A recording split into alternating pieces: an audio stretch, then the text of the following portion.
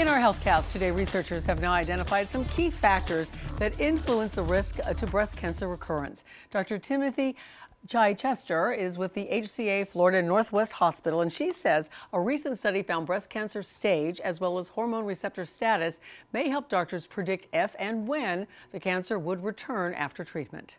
The stage and the receptor status help better characterize the tumor and help uh, tell what the risk of recurrence would be. Um, we found that higher stage breast cancers recur more frequently than lower stage breast cancers. Um, also, receptor status uh, tells how aggressive the tumor is and how likely that is to recur. The doctor goes on to say about 30% of people with breast cancer experience disease recurrence. It remains one of the most commonly diagnosed cancers in the entire world.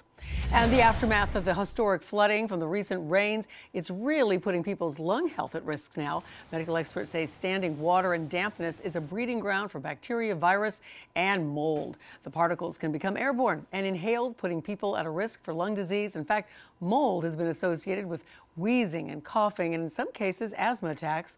There's also evidence linking mold to respiratory diseases otherwise uh, in otherwise healthy children. Now, according to the American Lung Association, more than 2.5 million Florida residents already live with chronic lung disease, things like asthma or COPD or things like lung cancer. Another